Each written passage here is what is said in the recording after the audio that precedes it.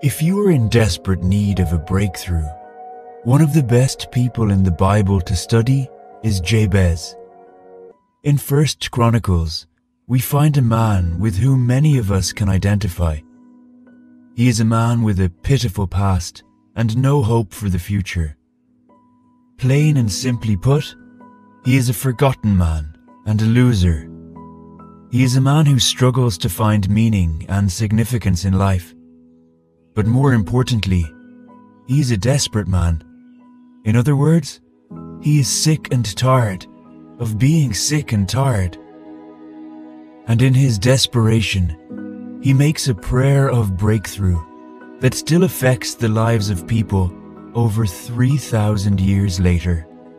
1 Chronicles 4 verses 9 to 10. Now Jabez was more honorable than his brothers and his mother called his name Jabez, saying, Because I bore him in pain. And Jabez called on the God of Israel, saying, Oh, that you would bless me indeed, and enlarge my territory, that your hand would be with me, and that you would keep me from evil, that I may not cause pain. So God granted him what he requested. His mother had named him Jabez, which means, I gave birth to him in pain. In Hebrew, the equivalent for Jabez means, he causes pain. We don't know the pain Jabez's mother went through, maybe physical pain or emotional pain. We don't know, but Jabez was not born at a good time or did not cause a good thing. Many people have been given names because of the things that happened to them. Some people are called failures. Some people are called poor. Some people are called weak. Some are called horrific names. What names has society branded you with? What name are you being called with? Are people calling you a loser? Are they calling you a failure? Jabez was called sorrow from birth. This name did not leave him. It was not just nominal, it became reality in his life. Nothing good ever happened to him. He just had bad break after bad break. And he was a man who was desperate for a breakthrough. Jabez understood the reason for his problems. He could have kept silent and kept trying to work hard to make things better for himself, the way people do these days. They sideline God and expect their own powers or abilities to carry them out of the evil names people are calling them and out of their difficult situations. Jabez didn't do that. Jabez prayed to God. Jabez asked God to bless him. There is nothing wrong with that. People may look at his prayer and say it is self-centered. He should have prayed for other people instead of saying, Oh, that you would bless me indeed.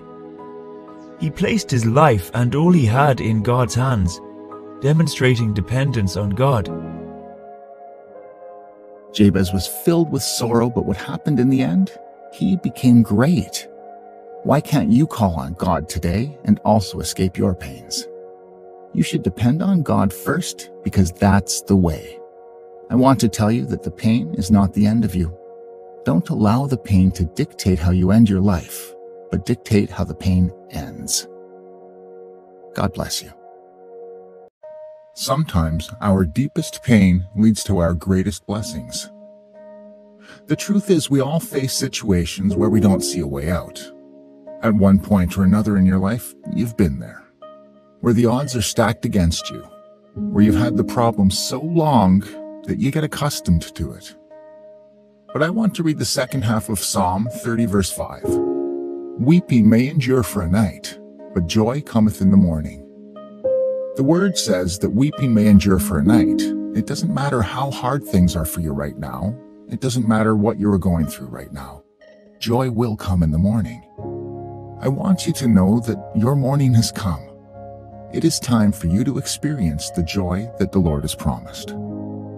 We sometimes look too deep into our problems so much so that we don't notice how blessings can come from them. The thing we don't know is that many problems or hard times we go through always have blessings hidden in them. What I want us to know and have in our minds is that when the storm comes or when problems do start, we must learn to focus on God, who can make our days bright. I don't know the challenges you are facing right now. I don't know what you are going through in your business, job, family, career, and every other area of your life, but one thing I do know is that joy is coming. Blessings are coming. Laughter is coming. Success is coming. Just focus on God. Look at the life of Joseph. His brothers almost killed him because they did not like his dreams. They sold him into slavery. A young boy in slavery, it's not something that will make anyone happy. What we should have expected Joseph to do is give up on God and his dreams. Joseph could have decided to sleep with Potiphar's wife and then forget about the dreams, but he stayed focused. Joseph was thrown into prison for a sin that he did not commit. If Joseph can move from being a prisoner to becoming a ruler, I don't see why your weeping cannot turn into joy. I don't see why your tears will not turn into laughter. I don't see why your pains should not turn into blessings. God will make a way for you. He has done it before and he will continue to do it. He is not changed and he will never change. Stop glorifying your problems.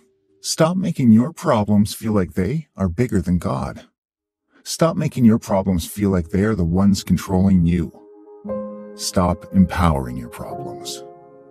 We must know that we have the power to control ourselves, and if we control ourselves not to dwell on our problems too much, we will always come out triumphantly.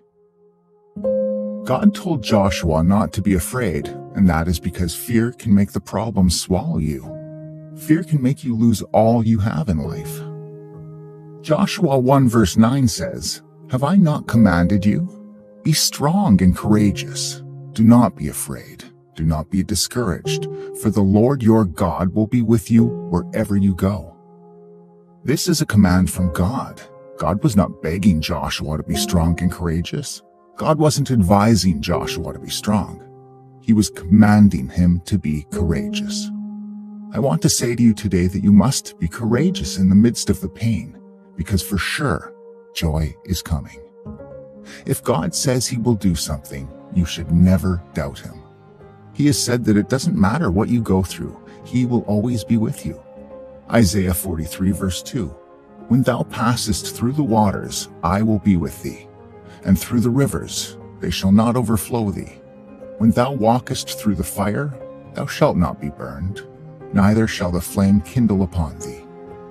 Sometimes our deepest pain leads to our greatest blessings. This reminds me of an article of a particular man and his success. He always had a plan to go into computer programming, but he was working in a company and he hardly had time for himself or his family.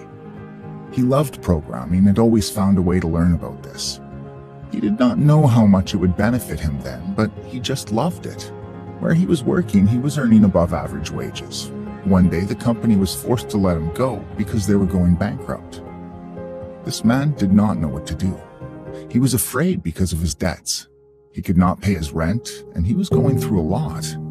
He was completely heartbroken because he had given so many years of his life to this company. He decided to sell most of the things he has and use the money to buy a computer.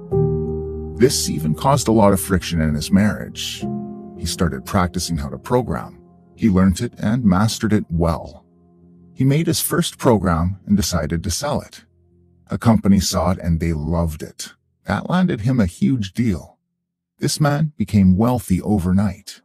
If he was not stopped at work, he never would have had the chance to fulfill his dreams. His deepest pain led him to his greatest blessings. There are a lot of people with similar stories. They discovered themselves only after they were sacked. Many of these people would have had it in their minds that it's over for them, but they looked at the blessings and took advantage of them. Have you lost your job? Is your business collapsing? Are your friends leaving you? I want you to focus on the blessings attached and not the problems. Maybe for you it is a relationship that's gone bad and the other person has left you. God could be opening a door for a blessing in your life. I know there's no way that the problems will still not be noticeable, but I need you to understand that you will not solve the problem by glorifying the problem. You will only solve the problem by using your hands to clear them apart to see a clearer future. You may have big obstacles in your path. You may be in a deep valley in your life and you don't see how anything good can come from this situation. I love the illustration of the eagle in the storm. Whenever there is a storm, the eagle will never run. The eagle can see a storm from afar. The eagle also knows there would be a storm. When the storm comes, the eagle will fly into it and use it to gain a new height. Other birds focused on the pain that the storm will bring. They focused on the problem. But the eagle focused on the blessing. The eagle focused on the opportunity to gain a new height. I want you to start seeing that pain as something that will lead to blessing. It doesn't matter what you have gone through or what you are going through right now. The blessings of God are right there for you. God is ever ready to bless you abundantly. The devil doesn't want you to see the blessing, and that is why he is bringing the pains, but God has the ultimate plans for you. Don't allow the devil to shift your focus. Don't allow the world to shift your focus. Don't allow fear to shift your focus. Jeremiah 29 verse 11 says, For I know the plans I have for you, declares the Lord. Plans to prosper you and not to harm you. Plans to give you hope and a future. Listen to the word of God. Hear him tell you about his plans for you. They are good plans and nothing can stop these plans. Not even the pain you are experiencing can stop the plans of God. Look at God instead. Have faith and look at the author and finisher of your faith, Jesus. Don't allow these pains to swallow you up. Don't be beaten down by any circumstance. Keep going and soar higher. You need to keep going too. It doesn't matter who you are. Never stop moving. It will be a problem if you stop moving forward in life and you allow the pains of yesterday or the pains of today to block your progress. You will always regret it if you refuse to keep moving now. How many times do we have to say it now that God is right by your side? He will never leave you. God is there for you. He is the one that will make everything work as planned. Why are you giving up on God because of the pains that will not last? Why are you losing faith in God because of the pains that will not last? God wants you to see beyond the pain. He wants to show you the greatness only if you can see beyond the pains. Some people have gone through what is more painful than your experience and they made it and they got blessings. You can make it too. Don't give up on your life. You're not too old. Your life is not over. Look at the life of Jabez. No one will ever pray for the kind of life that Jabez had.